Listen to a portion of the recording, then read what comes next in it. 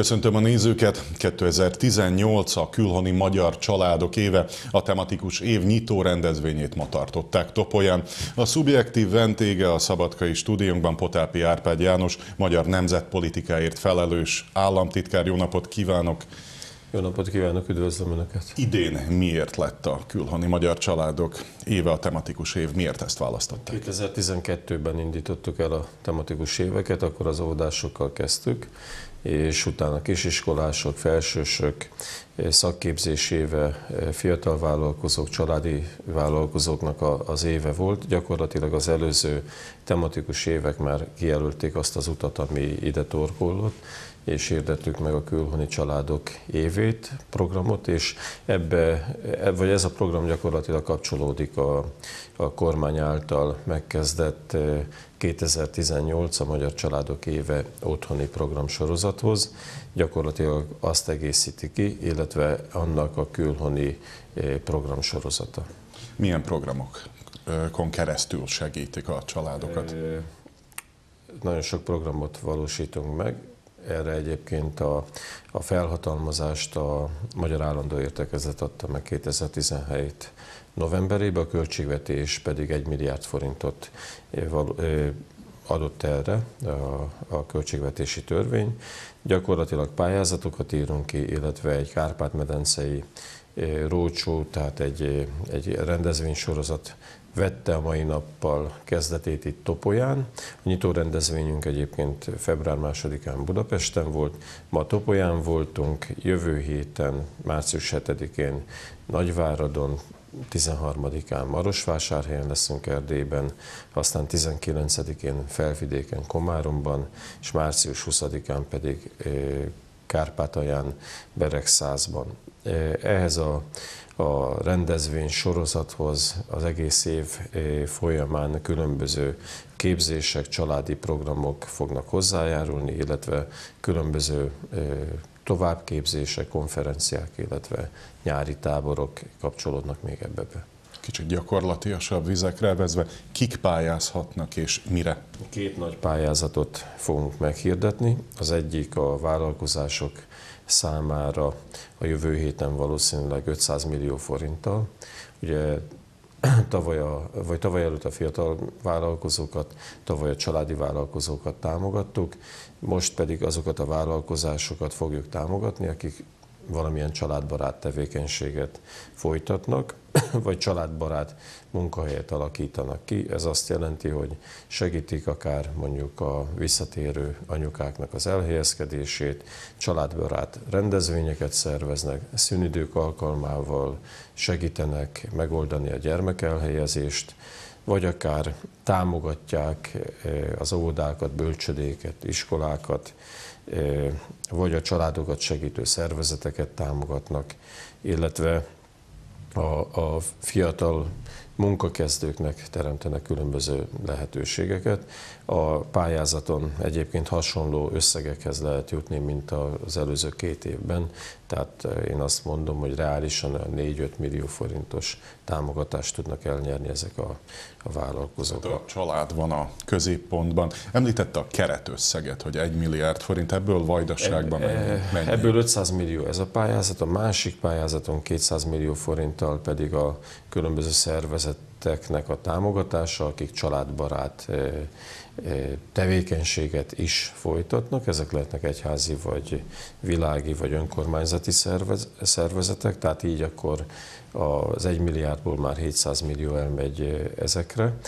150 millió forintot fordítunk arra, hogy egészségügyi és különböző fejlesztő intézményeknek adjunk szakmai támogatást, akár például a szülészeteknek. Így eljutottunk, ha jól számolok, akkor 700-850 millió forinthoz, és a, a többi összeg áll rendelkezésre ahhoz, hogy a különböző konferenciákat, rendezvényeket tudjuk megtartani akár Magyarországon, akár pedig Külhomban, de főleg Külhomban egyébként. Nem csak a tematikus évek az egyetlen támogatás, amit a magyar kormány Vajdaságnak nyújt. Hogyan értékeli a Vajdasági Gazdaságfejlesztési Programot? Ez így van, többször elmondtam már, hogy talán pont a, pont a Pannon TV-nek a stúdiójában beszéltem arról 2014-ben, hogy a szülőföldön való boldogulást kell a nemzetpolitikában is előtérbe helyezni, éppen azért, hogy az elvándorlást meg tudjuk fékezni, meg tudjuk állítani, akár vissza, visszájára tudjuk fordítani, másrészt pedig a demográfiai helyzetet tudjuk kezelni, és ezért is hirdettük meg a szakképzést, illetve a különböző vállalkozói éveket. Ehhez sokkal nagyobb léptékben társult a magyar kormánynak a gazdaságfejlesztési programja. Itt a Vajdaságban kezdtük el először ezt a programot, ezt egyébként a KKM, tehát a Külgazdasági és Külügyminisztérium valósítja meg, koordinálja Magyarországon. A, a vajdaságiak álltak egyáltalán olyan szervezeti szinten elsősorban a VMS, illetve a Magyar Nemzeti Tanács, akik az elképzeléseiket le tudták tenni a, a kormány asztalára, és ezért itt indulhatott be ez először. Ez egyébként azt is jelenti, hogy a Kárpát-medence többi régiójának nyújtottak ők ezzel segítséget, hiszen utána többi területen is hasonló tudott beindulni. Ennek köszönhetően nyugodtan mondhatjuk azt, hogy a magyar kormánynak a támogatása, vagy a nemzetpolitikája gyakorlatilag egy magasabb szintre emelkedett. Mennyire tudták elérni a kitűzött célokat? Gondolok itt a, a megerősödött vállalkozásokra, vállalkozókra, oktatásra. Segítettek-e a szülőföldön maradásban? Én azt gondolom, hogy erre elsősorban az itt élő emberek tudnak válaszolni. Mi minden segítséget próbáltunk megadni az elmúlt esztendőkben ehhez. Úgy gondolom, hogy nyilván ez csak pozitív lehet, és ennek csak gazdaság és egyéb hozadéka lehet.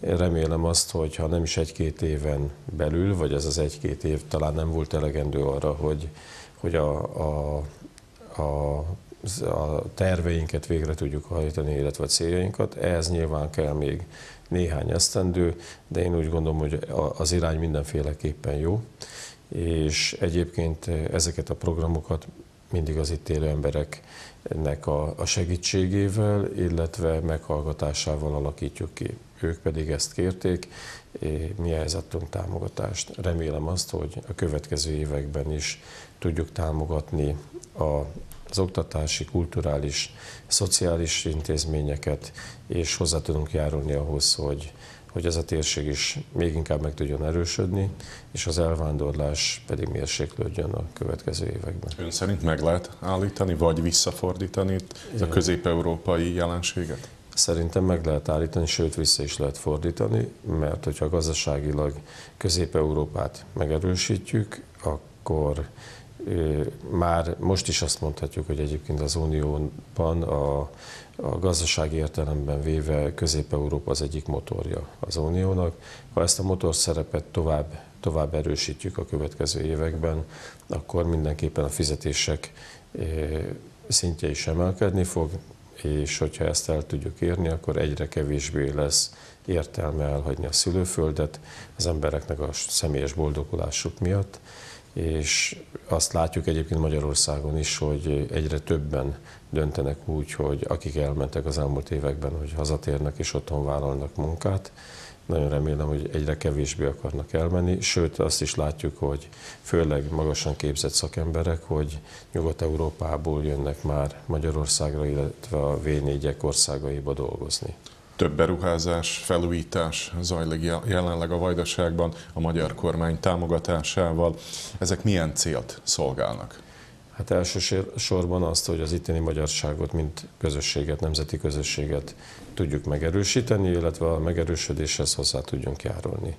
Ezek eh, lehetnek eh, akár oktatási, akár egészségügyi, egészségügyi kulturális, szociális intézmények, akár, mint például a Panno TV esetében egy médiaszékháznak a, a fejlesztésén, felújításán dolgozunk közösen. Rendkívül fontos az, hogy a erős magyar médiumok legyenek a térségben, ehhez is a magyar kormány hozzájárult az elmúlt években. Szerb-magyar viszony egy történelmi csúcson van, többször halljuk a magyar és a szerb kormány részéről is. Ebben milyen szerep jutott az ön véleménye szerint a vajdasági magyarságnak? A vajdasági magyarság mindig is a két nép között egy kapocs szerepet töltött be, akarva akaratlanul. És sokszor ennek a vajdasági magyarok csak a negatív oldalát látták. Ez jó húsz évvel, vagy akár még tizen éve is így volt. Jelentősen megváltozott az elmúlt években ez a szerep. Én azt gondolom, hogy hogy talán most már a pozitív oldalait is látják az itt élő magyarok. A VMS és a Magyar Nemzeti Tanács megkerülhetetlen a két ország kapcsolatrendszerébe. Nyugodtan ki is emelhetjük Pásztor Istvánnak a, a személyét, hiszen rajta keresztül a, a szerb kormány és a magyar kormány közvetlenül tud egymással dolgozni.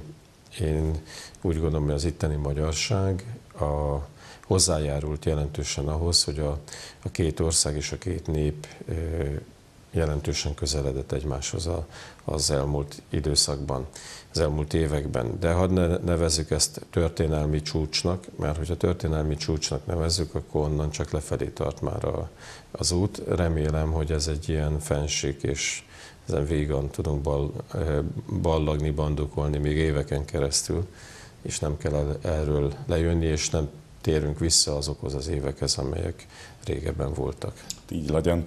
Ma Topolyán azt mondta, és az előbb is utalt erre, hogy a többi nemzetrésznek példa lehet a vajdasági magyarság és a szerb-magyar kapcsolat megbékélések lehetségesnek látja ezt most mondjuk Ukrajna esetében, vagy más környező ország esetében? Nem udvariasságból mondtam ezeket, tehát hogyha bárhova elmegyek, akkor nem ugyanezt szoktam elmondani. Az elmúlt, illetve 20 valány évvel ezelőtt ez a magyarság volt a legnehezebb helyzetben, politikai, gazdasági, de nyugodtan mondhatjuk morális, társadalmi szempontból is. Egy háborús övezet volt ez a terület is. Még inkább egyébként, mint most Kárpátalja, hiszen háborús események zajlottak ezen a, a területen is. Én magam is jól emlékszem a, a újvidéki hídnak a például lerombolásához, vagy Hertelendi falván láttam a, a e, milyen naftának mondják? Tehát a filo... Igen, az olajfinomítónak a, a felrobbantását, le, lebombázását, illetve utána voltam ott, vagy Belgrádot is, emlékszem Belgrádra, a kibombázott, kilőtt házakra. Tehát mindez az, azt bizonyítja, hogy, hogy háborús cselekmények voltak itt, és nyilván ennek a, a kárát az itt élő magyarok is látták, vagy elsősorban Vajdaságban ők látták, hiszen ők semmelyik hadviselő félhez nem tartoztak, és mégis rajtuk is csattant az, ors, az ostor. Most ebből a helyzetből sikerült az elmúlt években kilábalniuk, ennek sok oka van, de az elsődleges oka szerintem az, hogy politikai szempontból az itt élő emberek összefogtak, és együtt irányítják saját maguk sorsát, és így egyrészt támogatni is könnyebb őket, másrészt pedig komoly tényezők lettek a szerb politikai palettán is.